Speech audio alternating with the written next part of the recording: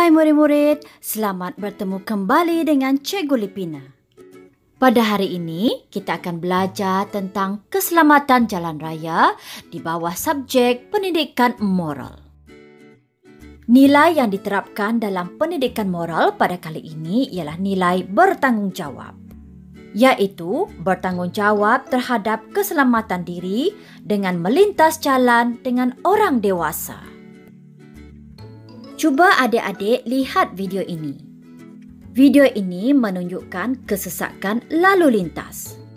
Jika adik-adik tidak berhati-hati melintas jalan raya, adik boleh ditimpa kemalangan. Oleh itu, sebagai langkah berjaga-jaga, adik-adik harus melintas jalan raya dengan orang dewasa. Hmm, Tahukah adik-adik kenapa kanak-kanak perlu melintas jalan raya dengan orang dewasa? Pertama sekali, orang dewasa mudah mengesan bahaya. Kanak-kanak pada peringkat ini belum dapat membezakan antara situasi yang selamat dengan situasi yang berbahaya.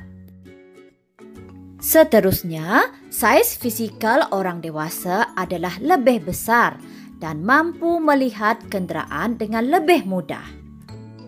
Dan yang ketiga, oleh kerana saiz badan orang dewasa lebih besar, maka pengguna jalan raya lain juga mudah melihat mereka berbanding dengan kanak-kanak yang bertubuh kecil.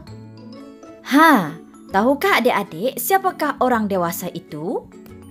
Mereka ialah sama ada ahli keluarga seperti ibu bapa masing-masing. Abang atau kakak. Pengawal lalu lintas. Guru sekolah. Atau pegawai polis. Ingat pesanan cikgu jangan sesekali melintas jalan raya seorang diri. Sentiasa memegang tangan orang dewasa sebelum melintas jalan raya.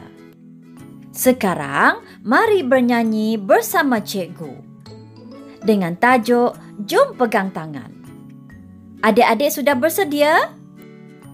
Mari kita mulakan.